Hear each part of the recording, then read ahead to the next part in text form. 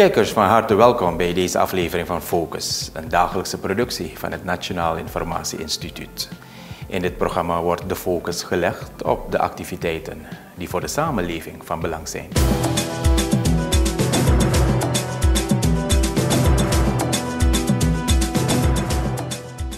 Vandaag in Focus, Suriname gereed voor opzetten en reguleren cannabisindustrie. Ministerie HINT gaat samenwerking DP World Paramaribo en VSH aan. AZP krijgt apparatuur overhandigd en ook in Nikeri opent RGD een gezondheidscentrum.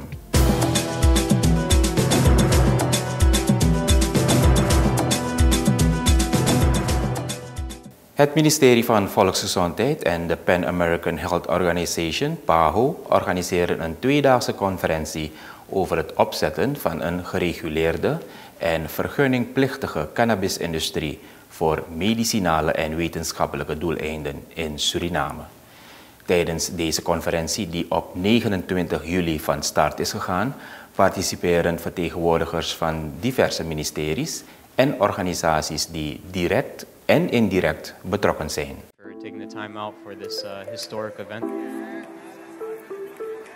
Uh, and the beauty of it is, is that it's a, it's a, what the rest of the country will spin off and run into. uh, vraag ik als ook het ministerie van Justitie en Politie wordt meegenomen. De naam medicinale cannabisindustrie wekt allicht de indruk dat dit thema bij uitstek en uitsluitend op het werkterrein van het ministerie van Volksgezondheid ligt. De waarheid is echter anders. De medicinale cannabisindustrie doorkruist het werkgebied van meerdere mi- ministeries en disciplines. Het is om deze reden dat u als een intersectorale en multidisciplinaire groep vandaag en morgen hier aanwezig bent om zich te buigen over belangrijke fundamentele, inhoudelijke en operationele vragen.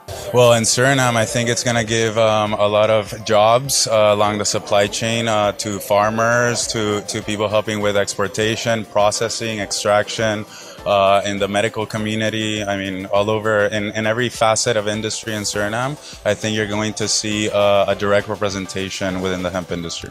Nou, ik zelf heb ook eh, research gedaan met sikkelcelanemia. Daar zijn we drie jaar mee, geleden mee begonnen.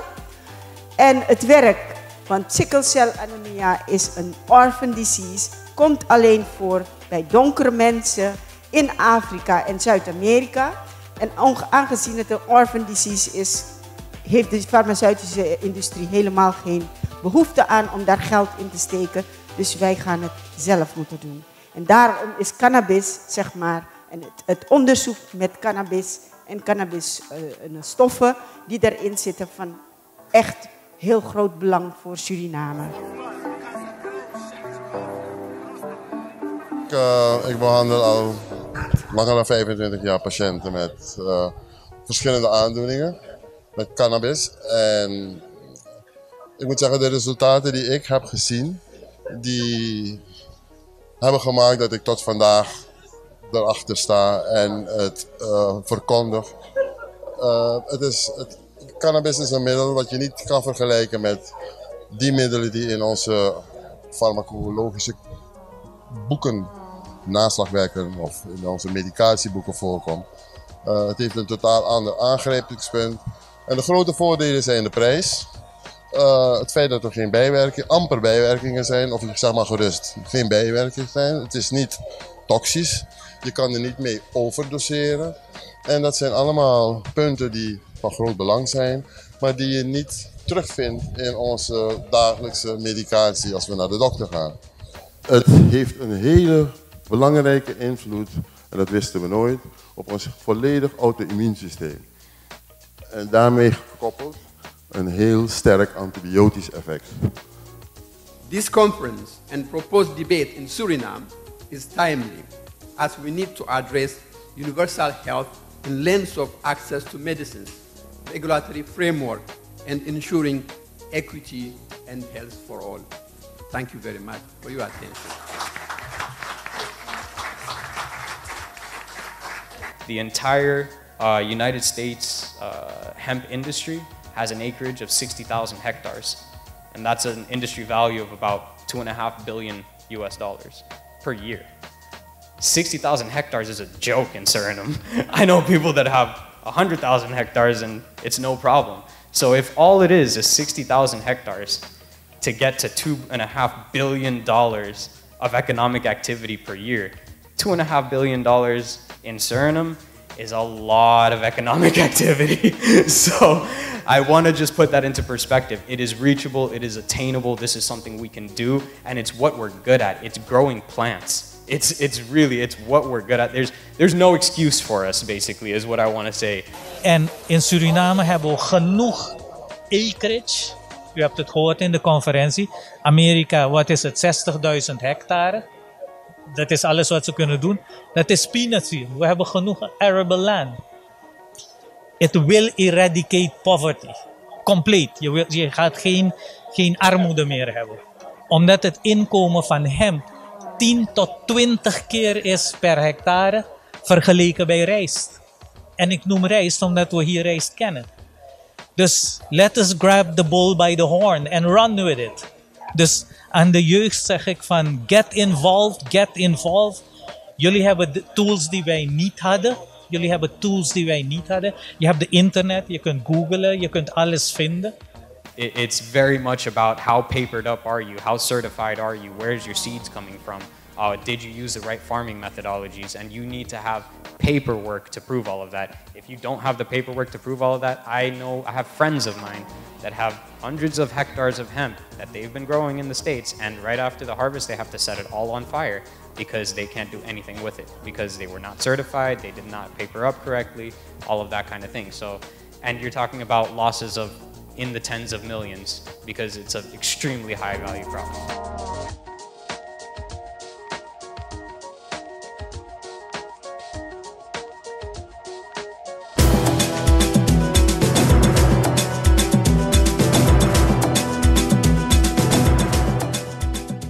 In de week van 29 juli tot en met 2 augustus 2019 organiseert NV Havenbeheer Suriname in samenwerking met DP World, Paramaribo en VSH een Safety Week met de focus op veilig transport.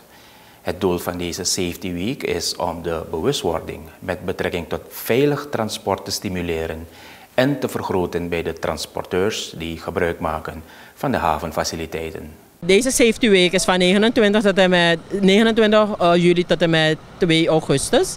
En tijdens deze week zullen we dan controles uitvoeren op uh, de trucks. Met name de trucks. Omdat uh, is gebleken dat soms, soms de trucks wat mankementen hebben. En we willen de mensen dan tegemoet komen om ze een vrije uh, check-up te geven. En dat is meer visueel hoor. En, en wanneer we de gebreken hebben geïdentificeerd, dan wordt het aan ze gegeven en dan kunnen ze daaraan gaan werken om het in orde te maken. De check-up wordt door onze eigen mensen gedaan. Wanneer ik zeg eigen mensen, dan heb ik het over havenbeheer, VSH en IPS, Integra Port Services, slash DP World. We hebben namelijk hebben we de mensen getraind uh, de vorige week. Uh, zowel een theorie als een praktisch uh, deel hebben ze gedaan. En waardoor ze de tools nou in handen hebben om dan die controle uit te voeren. Dus we hebben, ze hebben zo'n checklist. Hè? En ze volgen die checklist. Bijvoorbeeld gaan ze de vragen naar natuurlijk eerst de autopapieren. Heb je een badge? Ben je wel bevoegd? Uh, heb je een rijbewijs, ben je wel bevoegd om die truck te rijden. En dan daarnaast, dan kijken ze van uh, naar de bandenspanning. Is die ruit niet kapot? Heb je, er zijn twistlocks. Die twistlocks zijn speciaal om die containers te lokken zodat hij niet afvalt. Werken ze wel? Zijn die, werken die locks? Of als je een container erop hebt, heb je die container inderdaad gelokt. wat about die remmen, je verlichting enzovoort. Want weet u, als u de haven opkomt, dan willen wij toch een goed voertuig binnen hebben. Die voldoet aan de regels die ook de wet, aangeven, de wet aangeeft. En daarnaast, als die truck voldoet aan de, die eisen, is het ook veilig voor wanneer die truck op straat is. Want niemand wil hebben dat, een, dat als je op straat bent en zo'n truck rijdt je voorbij en een container valt op je. Een container is geen luciferdoos. Je, kan er, je kan er ongeluk van overhouden. In de meeste gevallen ga je dood. Dus uh, vandaar dat wij het ook willen. Uh, uh, hier binnen op de haven zijn er grote machines. we werken met containers. Alles is zwaar, alles is gevaarlijk. En we moeten onze leefomgeving, of werk, sorry, onze werkomgeving, moeten we wel zodanig beveiligen of veilig houden. Dat wij allemaal, iedereen die hier binnenkomt, weer veilig naar huis kan gaan. Want niets is zo vervelend als je een bericht krijgt om te horen, papa of mama kan niet komen omdat er mama of papa dood is of dat mama of papa een uh, onderdeel van je lichaam ontbreekt. Vanwege, weet je? Ik vind het een heel goed initiatief. Een initiatief dat hard nodig is. En zeker om de bewustwording van veiligheid, niet alleen op de haven, maar ook buiten de haven. Alle trucks en alle chauffeurs op de haven en buiten de haven is verschrikkelijk belangrijk om bewust te zijn van veiligheid. Voor jezelf, maar ook voor andere mensen. U heeft het over veiligheid. Wat bedoelt u precies daarmee? Het voorkomen van persoonlijk letsel. Met name. Kijk, materieel, uh, materiële schade is allemaal te vervangen. En, uh, maar persoonlijk letsel niet. Dus het is heel erg belangrijk om daar voldoende aandacht aan te geven. De controle wordt gedaan door een um, VSH en havenbeheer en DP World. Wat is de functie van VSH in deze? Uh, wij zijn de terminal operator op de haven. Er zijn uh, op de haven uh, havenbeheerders de landlord die verhuurt de haven aan zowel DP World als aan VSH. Dus VSH Transport is samen met DP World is terminal operator op de haven. En het is ons alle drie en ook de douane uiteindelijk en van de truckers het belang om het op de haven veilig te maken. Vandaar dat we met z'n drieën deze veiligheidsweek hebben georganiseerd. Om ervoor te zorgen dat de inspecties worden gedaan en dat alle trucks correct rondrijden. Zowel op de haven, maar ook als ze de haven verlaten.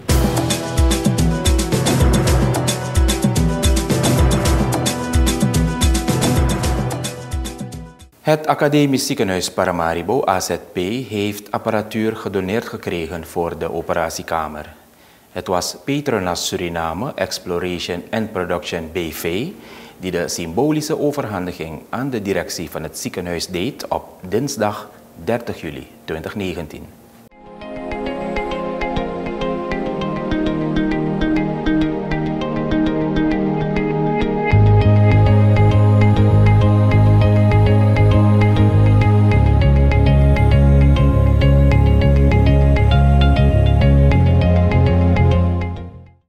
The way you open the skull is very critical for the safety and the efficiency of the operation. And with this that we got, it is an, like we were driving in a car from the 70s and now we're driving a Mercedes Benz. It's really, really a lot of difference. It is very efficient, very clean, very low, risk. It's really made neurosurgery in Suriname a lot safer and a lot, uh, lot less riskier. Today, handover of this equipment to AZP marks the sixth year that Petronas is contributing towards the healthcare in this country. Earlier in the year, we have contributed to the likes of other healthcare providers in Suriname, such as Lens Hospital, by contributing um, um, medical devices. Similarly, we hope that this equipment will help and support the continuity of the OT services at the Slans Hospital to ensure the local community receives quality medical treatment. In delivering our commitments, we look forward to working together with Statsoli in ensuring that the people, environment, and assets are safeguarded throughout the period of our operations. We hope to continuously add value to the national resources and at the same time contributing towards the growth of the nation. Kijk, het academisch ziekenhuis is natuurlijk blij met elke donatie die we krijgen. Um, zoals u weet is, de, uh, is, er een, is er, zijn er wat problemen met de financiering van de gezondheidszorg. Dus daarom zijn we dan ook blij met elke, el, elke donatie, elk gebaar dat uh, maakt dat we extra mogelijkheden hebben om de zorg te verbeteren. We proberen natuurlijk dat we te hebben in stand te houden. We hebben zeker ook uh, veel aandacht voor onderhoud. Want een gewone apparaat krijgen, dat is één ding, maar het onderhouden en ervoor zorgen dat je de verbruiksartikelen en dat soort dingen hebt, dat is heel belangrijk. Dus onderhoud, uh, mensen kracht trainen en betalen natuurlijk, dat is belangrijk. Maar um, alles vraagt geld. En elke donatie die maakt dat we dus in staat zijn om niet gewoon alleen te onderhouden, maar ook te vervangen en natuurlijk naar een hoger niveau te tillen. En daar zijn we dan ook heel erg blij mee.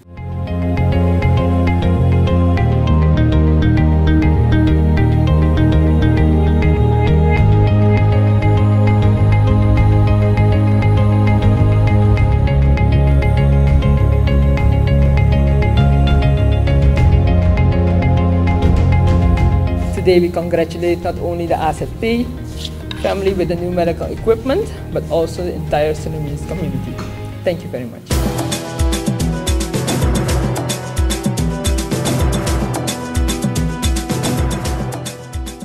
Na het district Para heeft het district Nikeri nu ook een gezondheidscentrum. Onlangs opende de regionale gezondheidsdienst een gezondheidscentrum waar men niet alleen terecht kan voor het meten van hun bloedsuikerspiegel of bloeddruk, maar ook voor het krijgen van medische behandeling en gezondheidstips.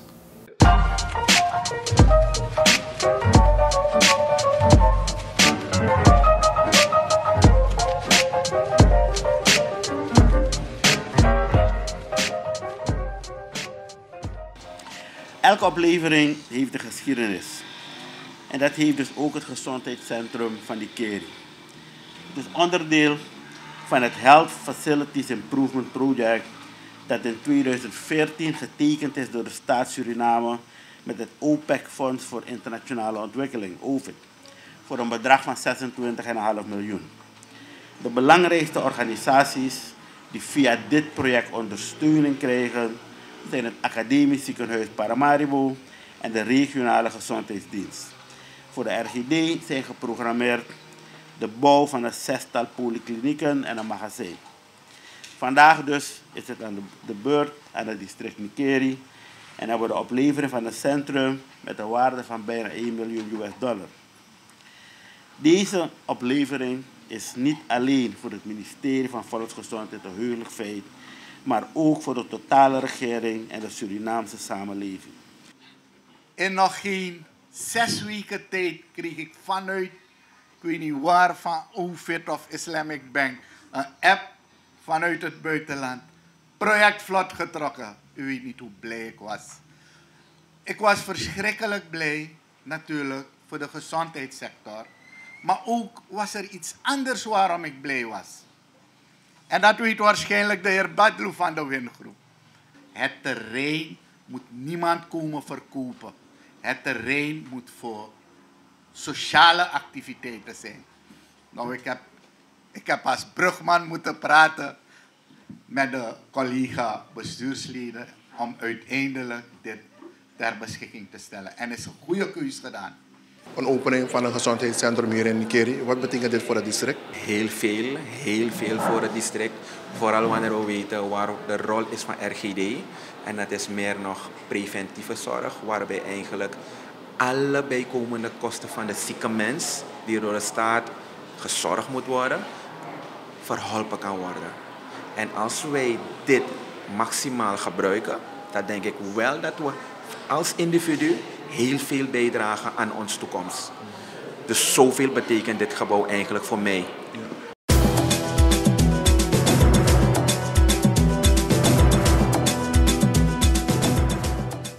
We zijn gekomen aan het eind van Focus. Bedankt voor uw aandacht. Tot de volgende keer.